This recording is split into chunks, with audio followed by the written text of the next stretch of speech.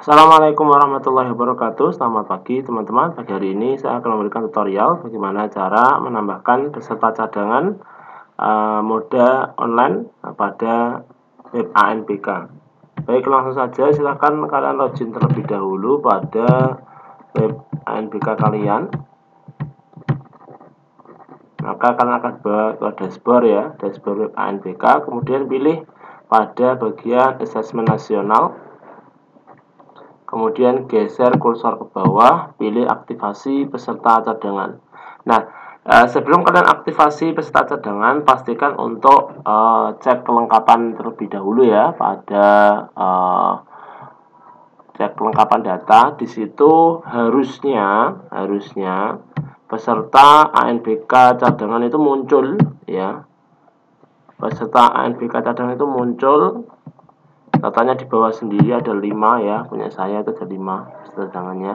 Harus muncul status centang ya, kalau belum dia nggak bisa. Kemudian e, kalau sudah pilih aktivasi peserta cadangannya.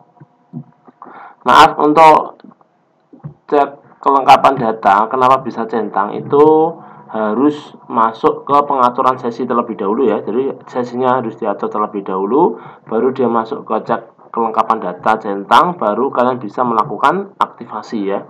Nah, di sini saya sudah melakukan uh, tambah peserta cadangan ada dua ya.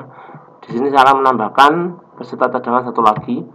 Klik tombol tambah, kemudian pilih uh, peserta cadangannya. Di sini saya akan tambahkan satu namanya sebentar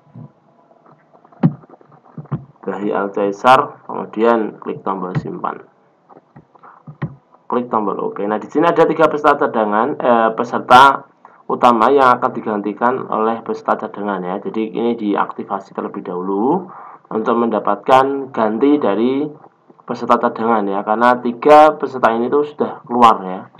Nah, seperti itu. Nanti ketika kita uh, cetak kartu login ya, maka akan muncul untuk uh, peserta cadangan yang atau sampling cadangan yang diatur oleh uh, sistem ya seperti itu. Baik teman-teman, mungkin itu yang bisa kami sampaikan. Semoga bermanfaat. Akhir kata, Assalamualaikum warahmatullahi wabarakatuh.